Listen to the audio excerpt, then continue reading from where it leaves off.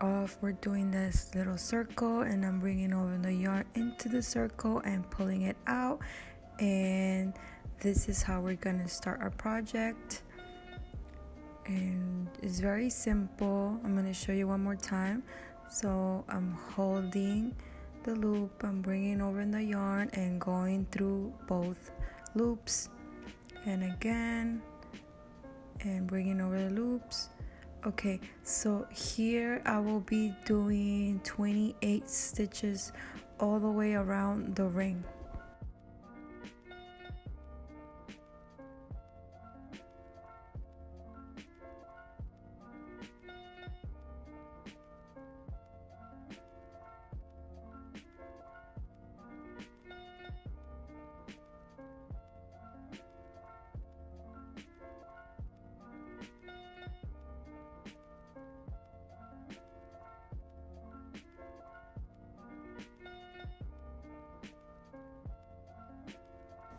okay so here is the end. I'm joining the last stitch with the first stitch and I'm putting it in my yarn and bringing over into both loops just like that. And on this so this is gonna count as our first row and here we're gonna increase every eighth stitch.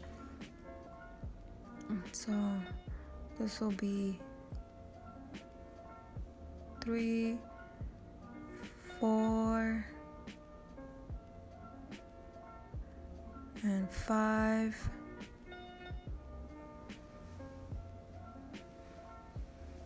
Six, seven, and we have reached number eight. So here I'm going to put two stitches in the same hole, one and two, and then we're gonna stitch eight stitches more.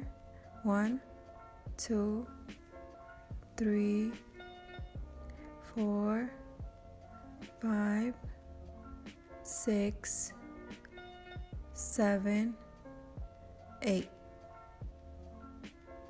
So I'm going to put two stitches in this number eight.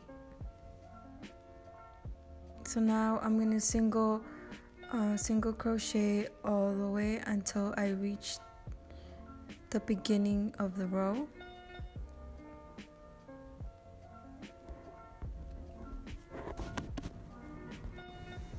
Okay, so here I I'm back to the beginning of the row and I stitch my first stitch and I'm gonna put a bobby pin so now that every time we come we pass we will know that that's the beginning of a new row so that counts as stitch one so here on the second row we're just gonna single crochet all the way around and we are not doing increases. On this row we do not do an increase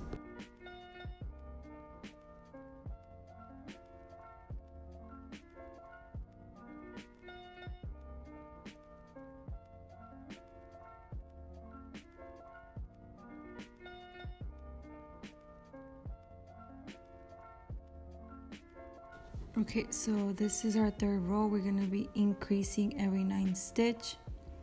So this is our first stitch right here and now we're going to do our second two three four five six seven eight nine and right here we're gonna be putting double. All right so again one two three four five six seven eight nine. And here we're gonna put double stitch one and two and we're gonna single crochet until we reach the end of the pin.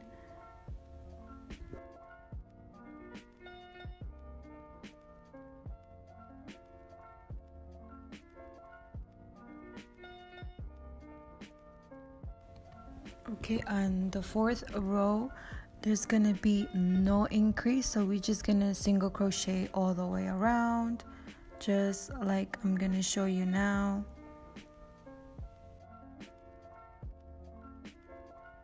okay so this is the fifth row and we're gonna be doing every 10th stitch. So the pin count as one so that's number four five six seven eight nine and 10 and then the next one we're gonna double crochet in this in the same hole. One two. Okay so we're gonna of get one two three four five six seven eight nine ten. And then the next one we're gonna do double. One we're gonna increase. One and two. And we're gonna single crochet all the way to the pin until we reach our new row okay so row number six uh, will be no increase. You're gonna single crochet all the way around. And then row seven will be 11 every 11th stitch you're gonna do an increase. Okay so you will keep doing this pattern until you like how long the lampshade is okay so this is my last row doing increases. So the pin counts at one two this three four five six seven eight, nine, ten,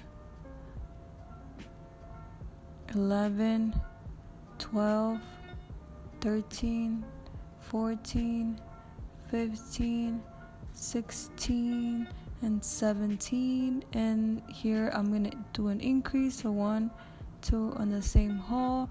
So I'm increasing every 17th row and I reached the beginning. So now I'm gonna single crochet all the way around in this row and this is it. This is my last and I'm closing it up.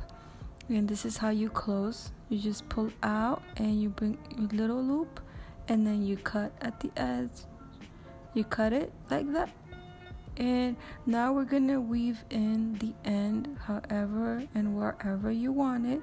Just weave it in so it's not noticeable that that's the end. Just like that. That's how I'm doing.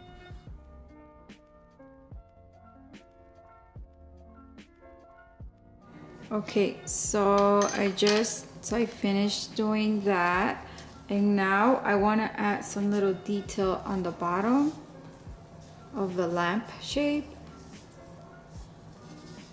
so I want I have a lot of these left over from a macrame project that I did that I have done. So I'm just gonna use these. They're all in different sizes, but that doesn't matter because later on when everything is put on the bottom, we're gonna be trimming it to the size that we want. So for that, we're just gonna fold these in half like this. And I'm gonna be using the same crochet that I used before. And right here this is where we closed but we closed off.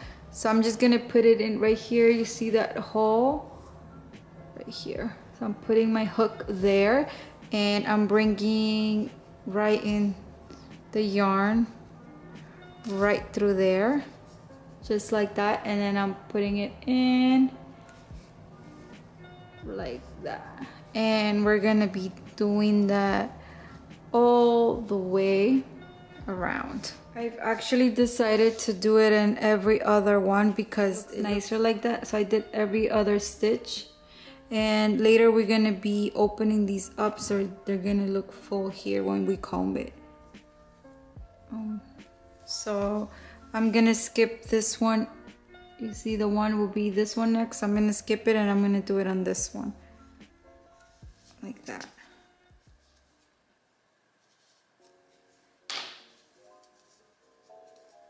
because the yarn is thicker and it looks nicer like that. It has more space. So we're gonna start um, pulling these apart. So we're just gonna twist it and we're gonna open, untwist all of these.